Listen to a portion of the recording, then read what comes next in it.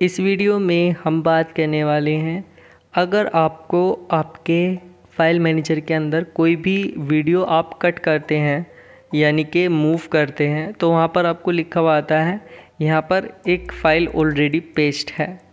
तो इसका main meaning क्या होता है आने का, और इसको हटा कैसे सकते हैं हम, ये मैं आपको इस वीडियो में बताने वाला हूँ। तो वीडियो को आप ध्यान से ज़रूर देखिएगा।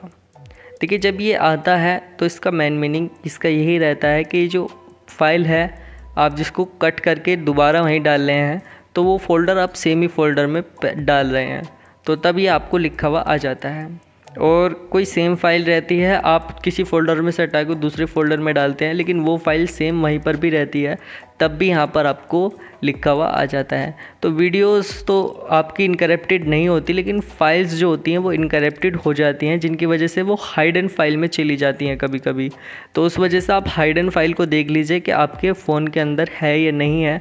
अगर है तो फिर उसको हटा लीजिए, उसको राम को रिचेंज कर दीजिए उस वाइट फ़ाइल को डिलीट कर दीजिए।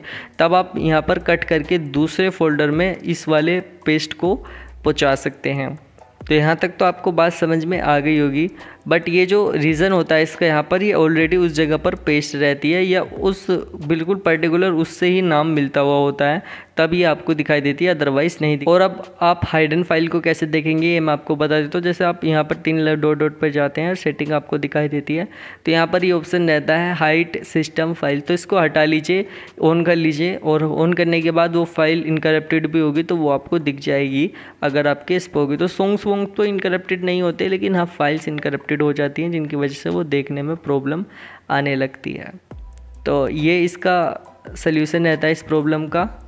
अगर यहाँ पर आपको वीडियो अच्छी लगी हो तो आप लाइक कर दीजिएगा और चैनल को सब्सक्राइब भी कर दीजिएगा। मिलते हैं अगली वीडियो में, तब तक के लिए बाय एंड टेक केयर।